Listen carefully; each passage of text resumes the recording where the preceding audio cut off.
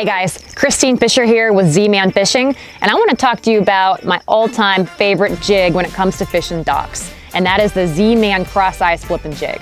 So this thing right here has a flat head on it. That makes it really easy to skip this bait way up under docks to access those big fish that maybe haven't seen a lot of baits.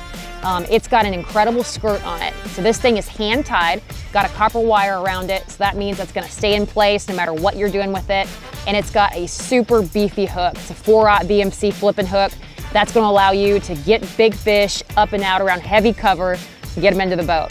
So if you like fishing docks, this is the jig to try.